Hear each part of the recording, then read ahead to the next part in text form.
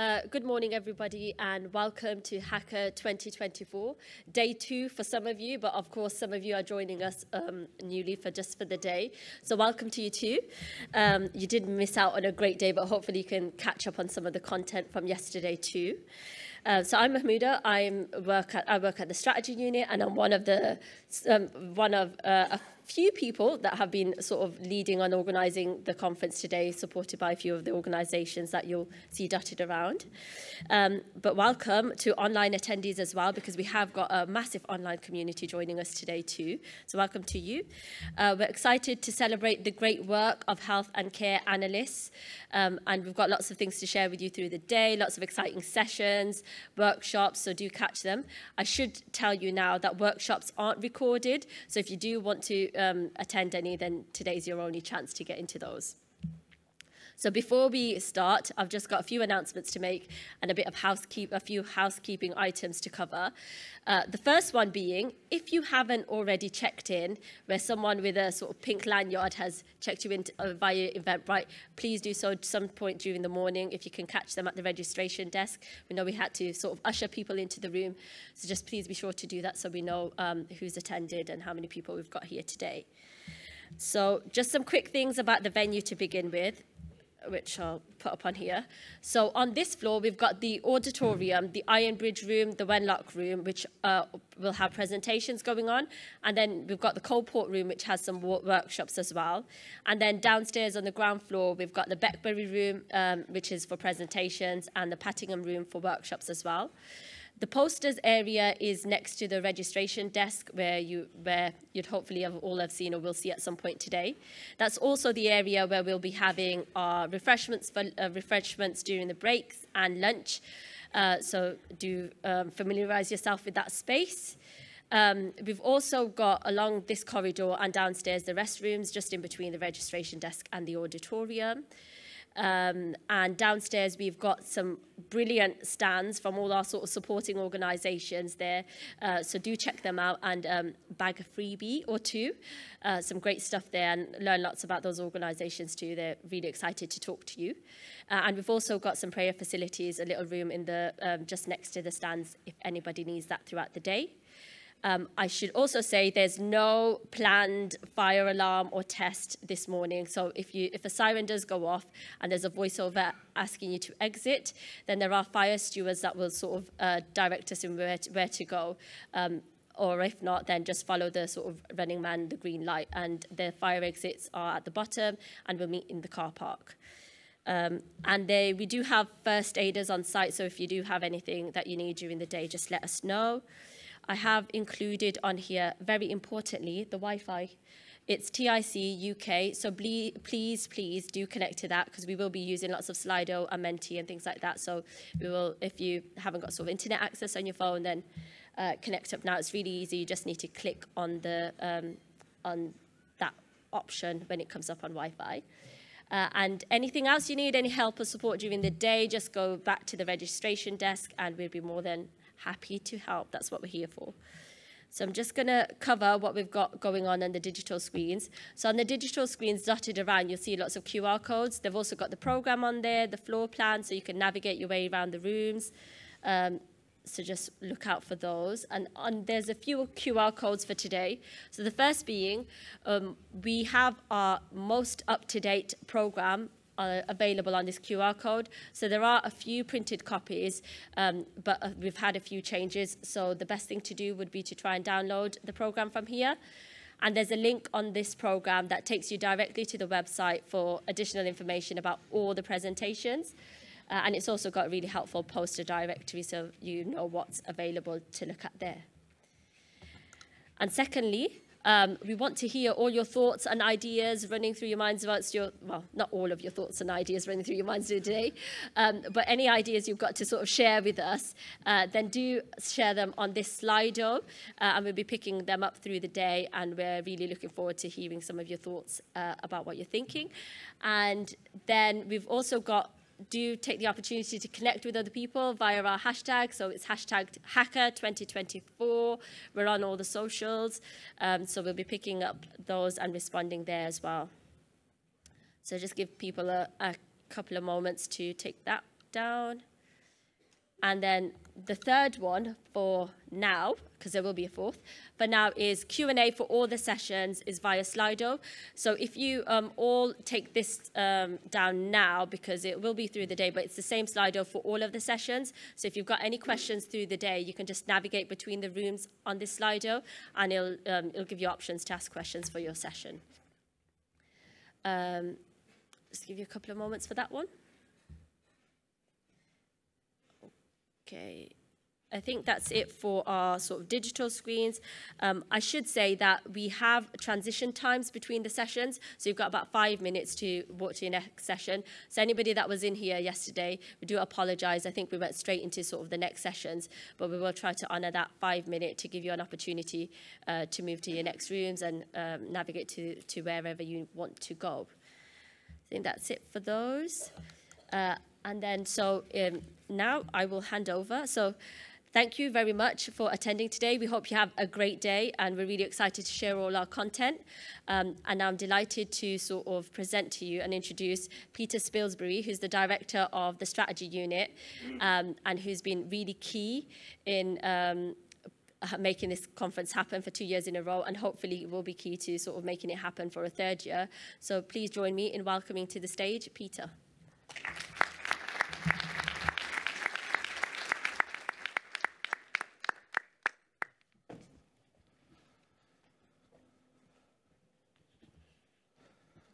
Morning, everybody. Um, for some of you, welcome back um, to day two. For some of you, I think joining afresh. Um, some people um, only taking part in one of the days. So welcome to HACA 24. Um, uh, certainly, from a personal point of view, yesterday I thought was was terrific. I, thought, I mean, all the content that um, that I saw, I thought was was excellent, and I actually think also the venue and the whole way the thing's been run and organised, so professional. Um, and today is packed with loads more, so please take full advantage of it. And, and please, just a little plea, because I've been in this situation myself in the past, if you possibly can, please do stay to the end. Because it's very miserable if you're one of the last speakers in the conference and half the audience has gone. So, so think of your colleagues who are presenting and try and be there for them. Try and create an audience for those people in the last session of the day. Um, the second thing, please don't take HACA for granted. Um, this has been quite a venture getting this going. Um, I won't bore you with the details, but, but the team I run, we, we're effectively partly subsidising this at the moment because we, we believe in it. We've got some fantastic supporters for HACA, um, the Health Foundation, um, the CSUs, NHS England have all provided funding so we can make this event available to NHS and care analysts, a professional national conference for those, for, for those groups, um, and we can make it available as a, as a free-to-attend event. But we're going to have to keep making the case for that. And as I said yesterday, please, please give us feedback um, it's so easy to ignore the feedback form. If you could give us some feedback about what value have you and the NHS and the care sector had from you attending this event? And if you possibly can, write me a little sentence or two that I can, that I can use as a quote in a document because I'm literally going to be going around waving the, um, the, the cup trying to get money for, for HACA 25 and I need your help in that. Um, I could kind of stop there, and Fraser would probably be pleased if I did. But I, I just want to take the opportunity, because I think this is a really important platform, um, to just make a plea for analytical quality and for a duty of candour, which seems to be an interesting phrase at the moment in government amongst for analysts. And I do this partly in the context of thinking about yesterday, where those of you who heard Anita Charlesworth talking about Clive Smee, who used to, I think he was the chief statistician um, in the Department of Health, who wrote a book called about, that talked about telling truth to power. So, some of you, some people like uh, Amanda Pritchard's statement about analysts. I, I'm a little unsure about it, but, but she said something like, a good analyst can save more lives than a good anaesthetist. So I've had several people mention this to me. during the conference. Now, now if good analysis can save lives, what does that tell us about bad analysis?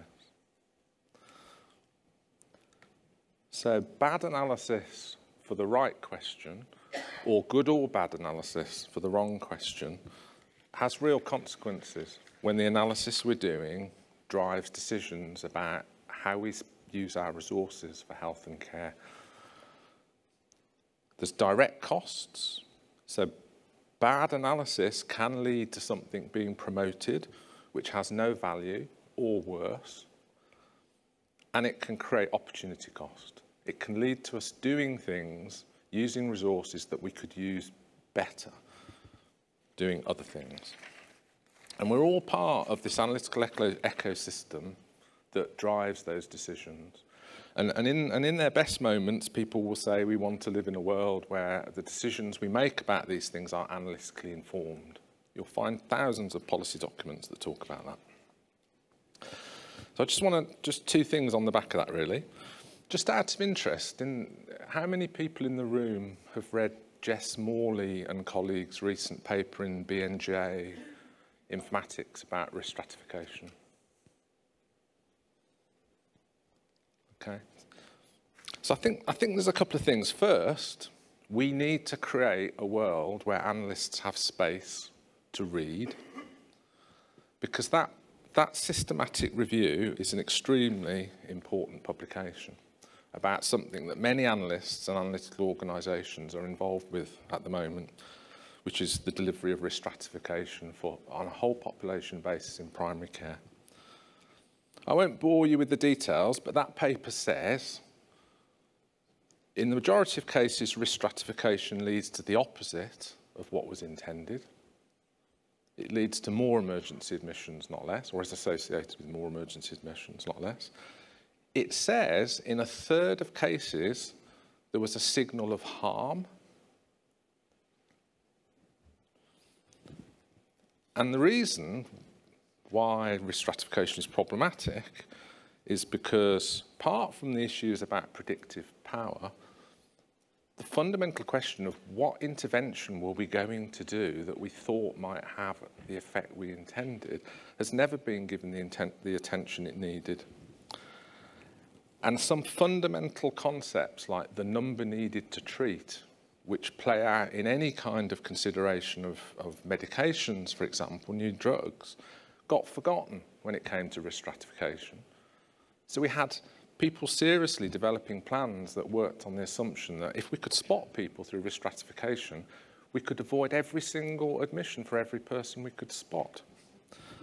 And completely forgot that the other consequence was we, that because of the notion of numbers needed to treat and because of poor predictive power, the consequence of risk stratification is that we will do lots of things to people who wouldn't otherwise have been admitted. Now, as analysts, we could have done more to have made the case in terms of critical thinking as to what, what were the issues in the thinking that lay behind risk stratification. Because risk, risk stratification came in because it was very seductive for decision makers. It offered a real magical thinking opportunity and it was seductive because you could talk about algorithms and big data and all sorts of things which decision makers don't necessarily understand but find quite sexy. So analysts have got a really critical role to, um, to participate in that and to make arguments in those types of situations. And just to follow that through, if we're going to maintain analytical standards, because it's a matter of life and death, if we follow Amanda Pritchard's, what should we expect if there is a national initiative to introduce a new service model, what would we expect an impact evaluation of that to look like? What would we think should be the standards? Would we expect, so really critical, big national initiative, would we expect some sense of expected methodological standards in the work? Would we expect it to be peer reviewed? Formally or informally?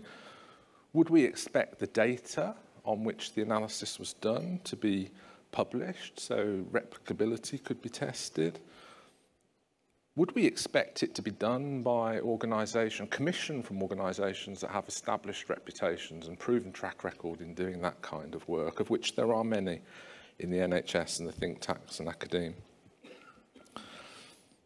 I kind of leave that with you as a question. What, so what's the duty of decision makers and commissioners of analysis in the light of the fundamental observation by the chief executive of the NHS that bad anal analysis can damage lives. And then what's the obligation on us as analysts in terms of truth to power? What should we expect if we see bad analysis? Should we expect, should we have an expectation that we will raise that professionally, carefully? And what would we expect of those decision makers um, in terms of their response when concerns are raised. Um, so again, I ask you to think about that. We, li we live to some extent in a post-truth world and, and we have to uh, play our, our part in trying to address that. Speaking out isn't easy, but what I'm calling for, I think, is for analyst, analysts to be professional and bold, and sometimes work together, collaborate. You know, if you feel you can't call something out, then call a friend who might be able to help you. I've been called as a few times as a friend by people in that type of situation.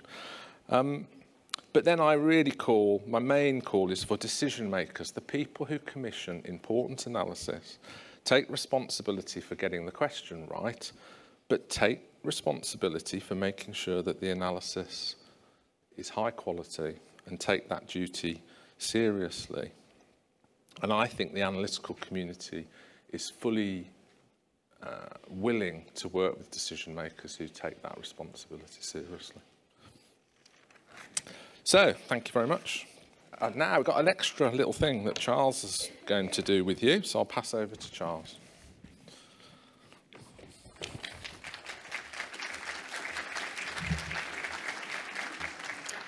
Hello, everyone. I know we haven't got very much time for this because Fraser's already put stop up several times to Peter.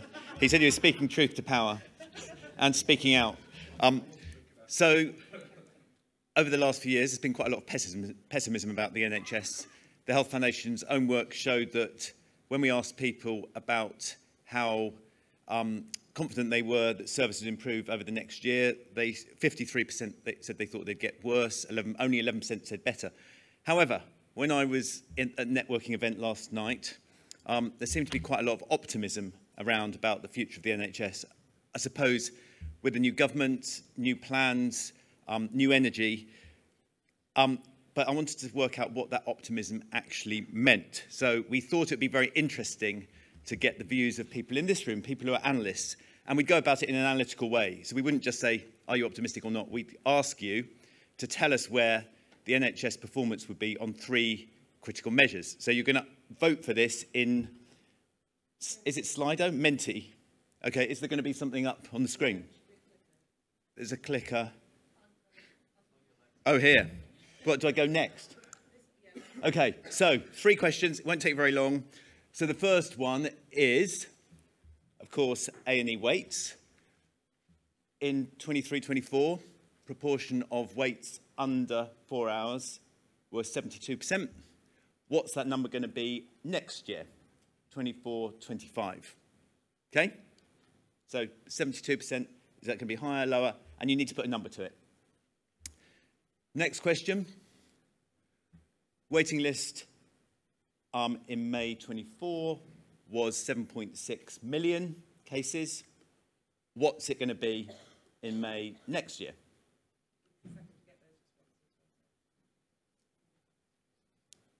Do I need to wait? Yes, please. Do I need to go back? No. Okay. Right, on to the next one, final one. Okay, only 24% of the public in 2023 were very or quite satisfied, according to the British Social Attitude Survey. That's run by NatCen. What proportion will that be in 24? And I think the survey, the survey is probably obviously it's taking place between now and the year end. Um, so those are the three questions. We're also thinking this is an inducement to come back next year because we're obviously next year we'll be able to tell you the results. Um, we're not going to tell you them before now, your predictions, but then next year we'll be able to show you how your predictions compared to what's actually happened. So that hopefully is an inducement to come back next year. There we are. Says that. Okay, thanks.